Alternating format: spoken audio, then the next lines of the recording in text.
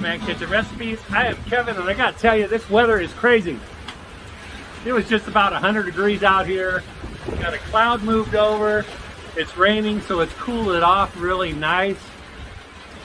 Yeah, got a little water drip right there because of the wind blowing water down through that one little opening to the roof. Anyway, okay, let's get this intro out of the way. Today I'm gonna make some uh, pork rind nachos with pulled pork, cheese, jalapenos, and you know what? The best thing about making nachos is you can make them however you like. That's right, make them any way you want. Uh, my pit boss was on, it went off. I'm gonna start it here in a minute. The power went out for a second. I will get this cook going. We will get the nachos going. I'm gonna go inside and I'm gonna show you how I put these pork rind nachos together. So let's get in there. And uh, actually, before I go in there, I'm gonna go do something I haven't done in a long time. So just come with me. Okay, and here's what I haven't done in a long time. Stickers. Uh, power came back on. I got the pit boss going again. And crazy weather just thundered right before I hit the play button.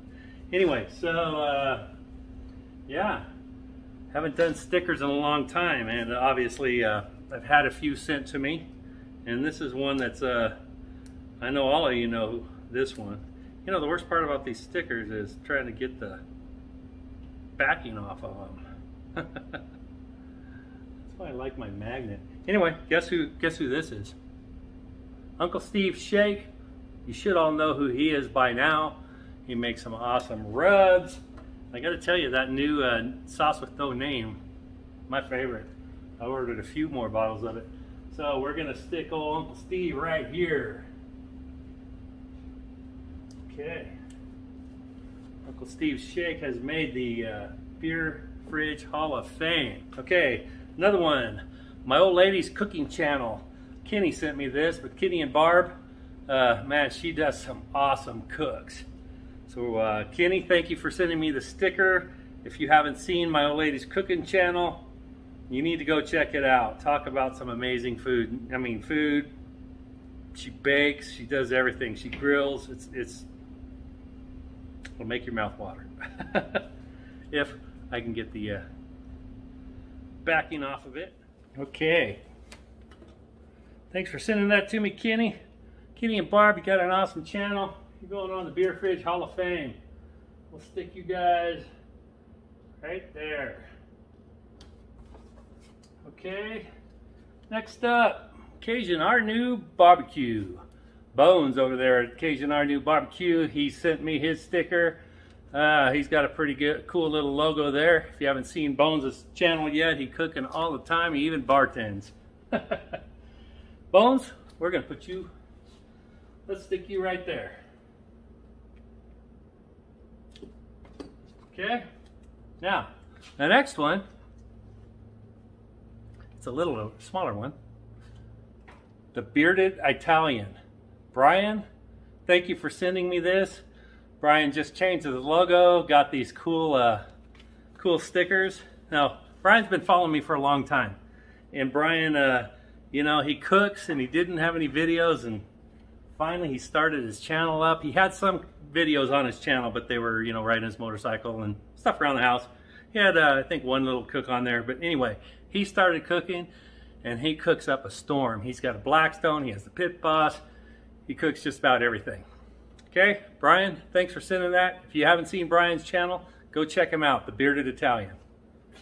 Okay, Brian, where do you, let's, let's put your little guy right in there, Brian. All right. And last but not least, the meat stick. I got to put a meat stick uh, sticker up on my uh, Beer Fridge Hall of Fame. If you don't have a meat stick, if you're looking for a wireless thermometer, check out the meat stick. There is a link in the description below. And I'm going to put, I mean, game changer, especially if you do rotisserie cooks. All right, we're gonna put the meat stick right here. All right, there we go. Haven't done a sticker video in a while. If you want a sticker, email me, Kevin at Man Kitchen Recipes, and uh, send your address and we'll get one sent off to you. All right? Okay, let's get this uh, pork rind nachos with pulled pork, jalapenos, cheese, pico de gallo. Let's get this thing built and get it on that pit boss before the power goes out again. Oh, yeah, before we go, here we go. Here's some of the stickers that I have on here. All right, all great channels. You should definitely check them out. And uh, let's get this going. Okay, didn't I tell you this weather is crazy? Look, totally sunny. Cloudy that way. It's cloudy out there. I don't think you can really see it. It's too, uh, the white is too bright. anyway, crazy weather. We're back in business. The pit boss is uh, back on and heating up, so we're just about ready. Okay, I'm starting with a bag of just regular uh, pork rinds, no flavor to them. I'm just going to add some cheese. I like regular shredded. My my wife likes this uh, nacho cheese sauce. I'm going to put some of that on for her as well. And then after the nacho cheese sauce is all on there nice and good, I'm going to start putting the jalapenos down. And these are pickled jalapenos. This batch, this jar, they're on the hot side, so they're really good. I'm going to put a good amount of jalapenos on here. And then of course, after this, we're gonna put the pulled pork. okay, sprinkle a little more cheese, and here's the pulled pork. This pulled pork was actually some pulled baby back ribs that I made. And if you've never made baby back ribs specifically to have pulled pork, you gotta try it. I don't have a video yet, but maybe I will. Now let's take them outside. All right, what, what about those? They're not just for a little snack, these are almost a meal.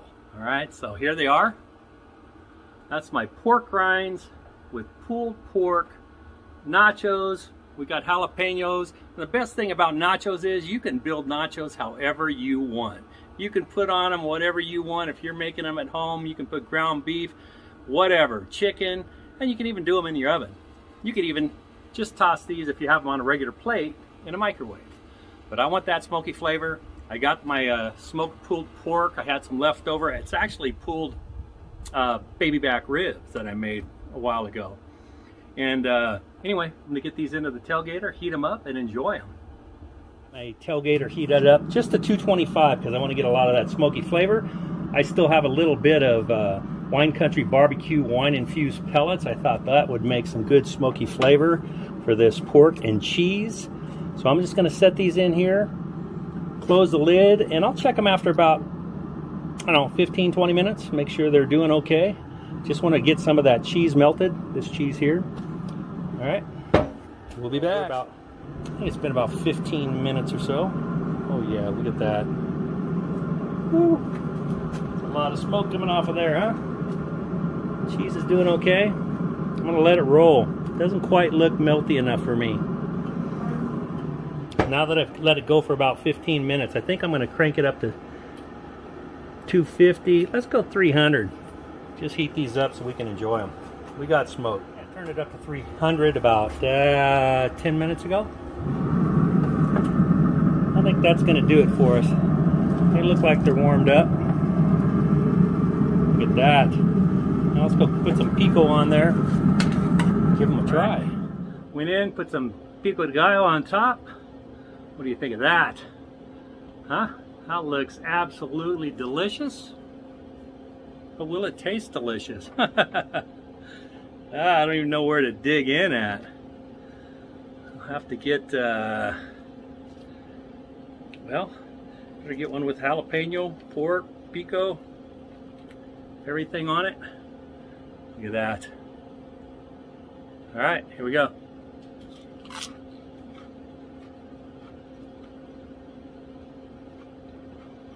Yeah. Hmm. Hmm. That is very interesting. They're really good, actually. Man. I'll take another bite. Hmm. Hmm.